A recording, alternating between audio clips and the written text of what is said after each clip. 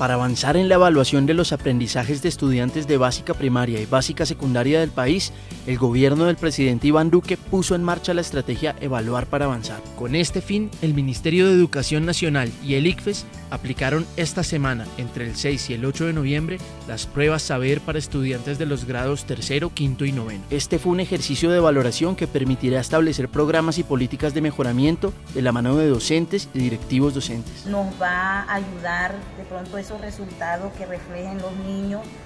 si hay que hacer un mejoramiento, un plan de trabajo para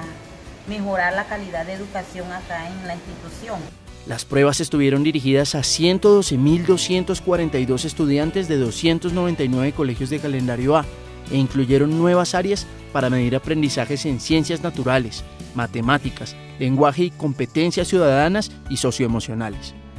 para tener una referencia ya cuando llegue a grado 11, saber cómo responder estas preguntas. 8.202 estudiantes presentaron la prueba en modalidad electrónica y 104.040 de manera tradicional con lápiz y papel.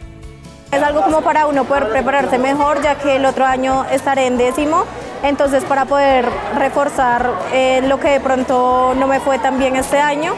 y para poder tener un buen puntaje en las pruebas de 11 y así poder tener un mejor futuro. Además, se incorporaron diseños incluyentes para que 1.755 estudiantes en condición de discapacidad presentaran la prueba con el uso de tecnología, intérpretes en lengua de señas colombiana, apoyos cognitivos, lectores especiales y el apoyo de los jefes de salón. Con el trabajo articulado entre todos los actores de la educación en Colombia, el gobierno del presidente Iván Duque ratifica su apuesta por la transformación educativa con calidad para el logro de un país más equitativo y con oportunidades para todos.